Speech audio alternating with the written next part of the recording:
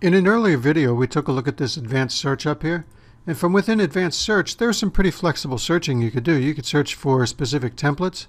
So, you know, if I'm looking for all the mixing tanks, there we go. Here's, here's just the mixing tanks. Here's just the storage tanks. And here, if you remember, we had this uh, kind of generic tank. Uh, that's actually going to find everything that's both mixing and storage. So that's pretty nice. That's a pretty powerful search mechanism.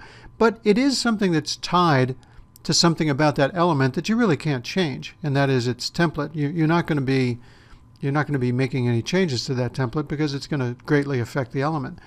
It would be nice if you had some kind of a user-defined categorization mechanism, some way for you to do searches for certain things that you've simply categorized based on your own wishes, not based on any of the attributes of the element. Well, for that, we have a search based on category. Now, I don't have any categories defined, so let me show you what I'm talking about.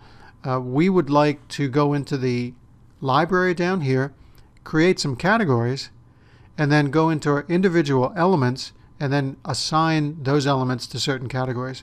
In that way, we can specify a search that searches across some category that really is user defined and has no impact on the behavior of the element at all.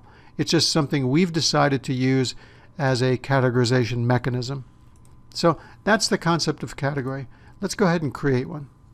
Now we start by going into the library and we have to choose what type of a category we want to create. As you can see, there are different uh, types of categories. There's attribute categories, element categories, etc., etc. Uh, I'm going to use an element category. These are the categories I can assign to our elements. As you can see, we have the same option for tables, the same for uh, attributes. We haven't discussed these others just yet, but these are our, you know, these are our categorization mechanisms. There's five of them by default. I'll go ahead and create an element category. So I'll do a brand new category.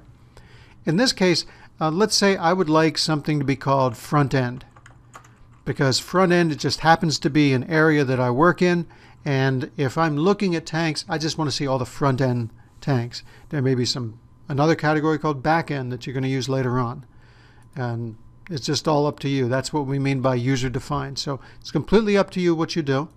I'll go ahead and create this front end category. I'll create a back end category as well. Choose a new category. For the name of this category, it's going to be back end. And I'll go ahead and check these in.